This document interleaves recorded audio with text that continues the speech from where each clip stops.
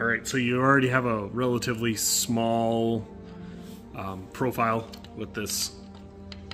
Most people could probably just end up putting this itself as a whole in their mask and it'll work just fine.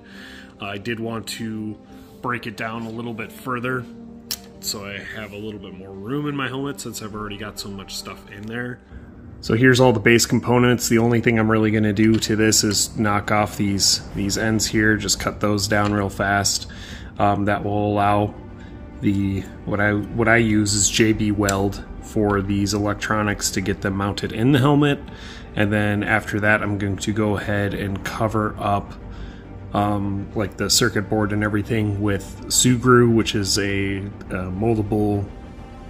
Uh, almost like a rubber. So it is it acts as an insulator, um, but it will also help uh, make some of these electronics that we have exposed water resistant, so we don't have to worry about. It. The battery itself is 400 mAh in this unit that I have, uh, which is good enough for you know quite a few hours. So like if you're going to a con, it would work just fine, but for long weekend long events um, it does have a micro USB port that you can charge everything with, or you can charge up the unit with.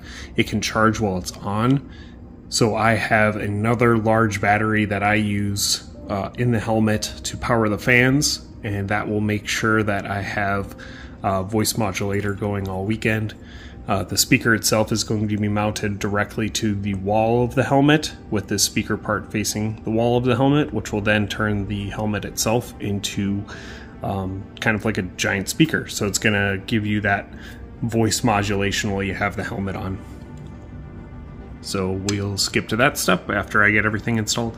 Again, here's the voice. Uh, here's the helmet without the voice modulator.